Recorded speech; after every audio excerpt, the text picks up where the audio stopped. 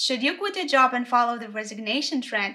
I'm gonna be straightforward and the answer is I don't know. The gist of this video is to show you what could be those reasons and factors that can go into the decision making and help you make up your mind and give you more food for thought. Hey guys, my name is Manshuk and welcome to my channel. Business as usual, thank you guys for pressing the like button if you enjoy watching my videos. And in exchange, I'm hoping that the Titan Goddess Metis blesses your search for the answer that will be right for you. So blessing said, now let's get back to the business.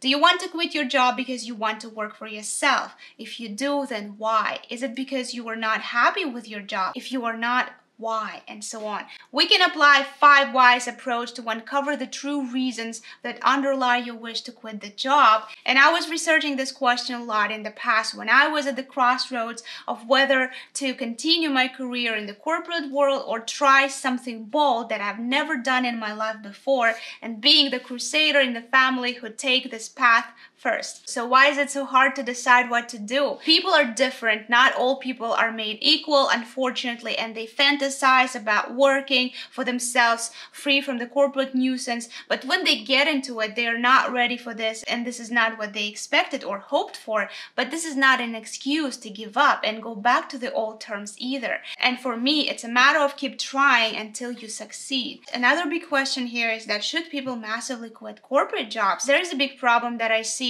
about the idea of quitting massively corporate jobs, the reality is that people who work corporate jobs don't share their happiness and satisfaction that they get from it. On the opposite, the internet is flooded with negative statements that people hate their jobs, and that is fine too to share about what bothers you. But there's just no balance. There is a perception that all corporate jobs are bad.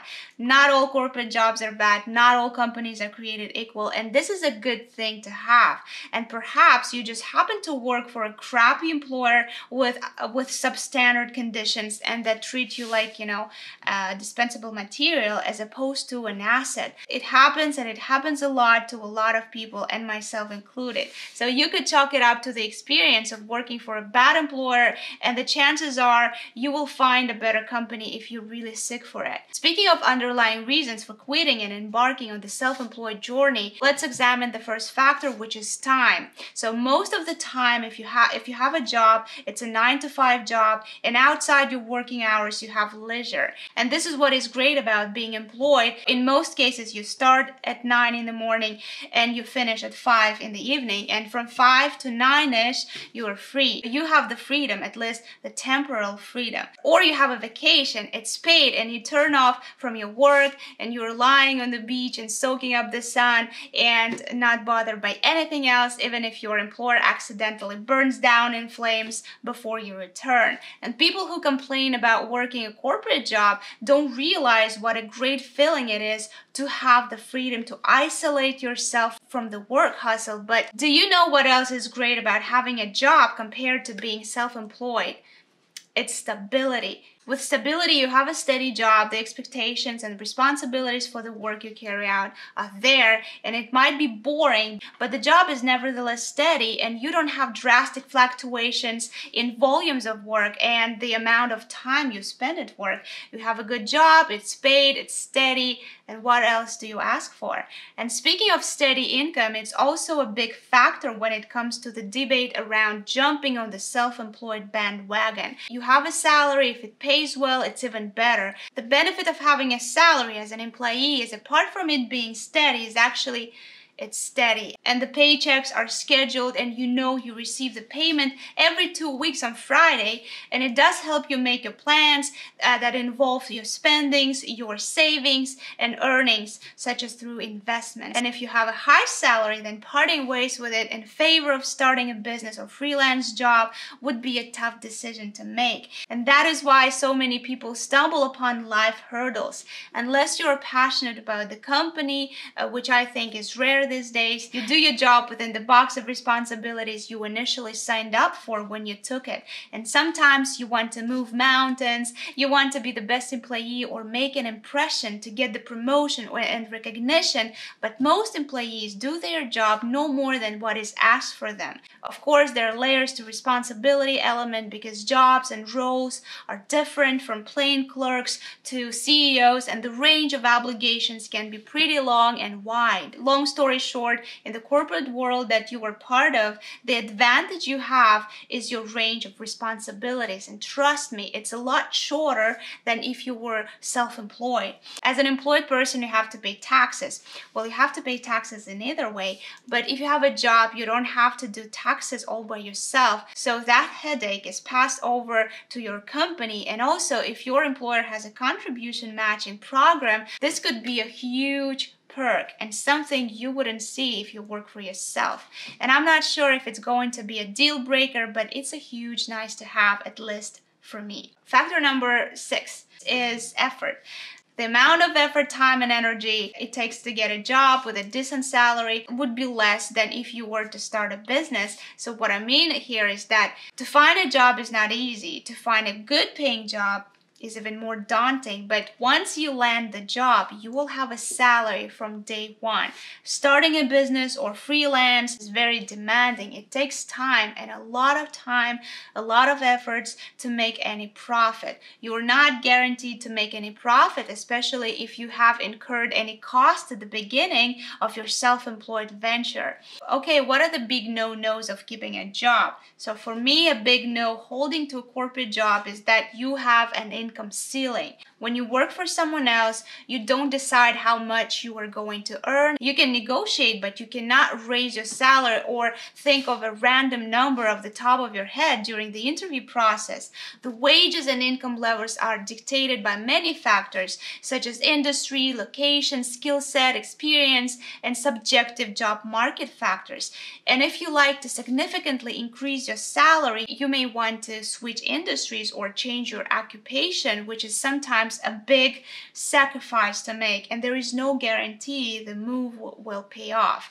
And the next big no of keeping to 9 to 5 is a big chance of getting lucky to work for a pesky job and depend on them, especially when it comes to job promotions. And this is a huge disadvantage to me personally, and it will be even higher than having a, a salary ceiling. The downside of a corporate job is your vile boss or your rigid hierarchy where you have to put up with all the nonsense, nod your head in agreement. If not, you will likely be shown the door. Don't get me wrong, some great bosses can inspire you to do great things and become great great mentors, but there is nothing worse than working for a great company and reporting to a bad boss. And as they say, people don't quit companies, they quit managers. The next big no of keeping to a 9 to 5 job is passion. I'm pretty sure most jobs that we have or had in the past don't evoke passion and excitement. It doesn't necessarily mean that we hate our jobs, it just means we have jobs that pay us enough not to hate them. It's not always the case though. Many people hate their jobs even if they're paid well, not because of their job or company, it's because of the very job itself. They might have chosen it a long time ago when they were in college studying for their degree. And a lot of time people don't see their job as their passion, they're doing it for money. When you're not passionate about something, you spend at least 40 hours per week. It's an elephant in the room that you can't ignore. Okay, now the fun part of the video, I'm gonna share my yes and no's of being self-employed. The big advantage of being self-employed is income potential. Working for yourself and being your own boss is a great undertaking and a remarkable feeling. When you entertain the idea of becoming self-employed, many benefits spring to your mind and the most obvious one is income or the size of it. And of course, it depends on the type of business you run and freelance job you do, but the opportunities of how much you earn are boundless. It's limitless and it grows with your social proof and your mastery exponentially. The smarter you work, the more money you're likely to make. However, there are a few caveats. Number one, you have to spend first by incurring costs that will help you launch your business and provide access to the platform to sell your products or services. Number two, you don't make money right away because you need to break even and it takes time to build your brand, collect reviews, and be on everybody's shopping list business. Not to mention, you need to make sure that Google algorithms fall in love with you or your business. Number three, you may not make money at all. It's very simple, you may fail. The competition is fierce, you survive or thrive if you put in many endless hours of work to stand a chance and succeeding. Just look at YouTube channels and you will see the correlation between being persistent, investing your time and energy, trying to create something uh, quality, and you may be successful in the long run, not viral YouTubers that get lucky once. The thing with earnings when you are self-employed versus when you are employed is that if you picture an XY axis where X would be elapsed time and Y would be an income level, and the straight line on the X axis with a small jump across the time would be your salary, whereas the straight line at zero of the X axis turning at some point into an upward curve on X axis would be the self-employed income. And I know it sounds complicated while I'm describing it, but if you imagine it, it's really simple. This is something I keep in mind constantly. The bottom line is that you need patience and smartness and a lot of dedication to work to get to the point that take you straight income line up. And that is at the expense of giving up your steady salary for a certain time. The next big thing is flexibility. With self-employment comes flexibility in your work schedule. You don't obey the company's established work schedule. You can set your own schedule and work wherever and whenever you like. If you are sick, there is actually no need to ask for permission to recover within 10 days, considering that there are 365 days uh, per year. The flip side of flexibility is that you may romanticize and visualize yourself working four hours a day, taking limitless vacations and doing your hobbies, but it's not how it works. And ever since I quit my job, my workload and the amount of time that I spend working has increased two or three times as much as when I had a corporate job. When you hear people saying, I want to quit my job because I want to have more freedom, this doesn't in any way refer to the working less. So when you are self-employed, you can have flexibility and freedom to choose a schedule and skip parts of the day to do some chores, but be prepared to work like a horse at least in the beginning. And when you have no clue where you're heading to, you gotta figure out everything yourself. There will be no smart boss who's supposed to help you out. You do it yourself, and in most cases, you just just Google everything. So in my experience as an entrepreneur, I have come to realize that your best resource is your time. If you believe you can delegate some tasks that can help you focus on other things, business critical and more strategic parts of your work, then don't spend your time on those tasks, especially if you are not good at it. Pay the person who can do it better and faster and collab with them. Hey Shiva, thank you so much for helping out with my videos, by the way.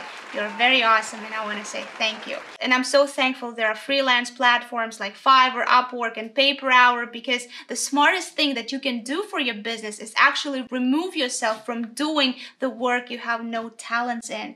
And with that said, thank you guys so much for checking out the video and I wish you good luck in everything that you want from your professional life. Make sure you hit the like button, subscribe button. Thank you guys so much for watching. I'll see you in the next video. Bye.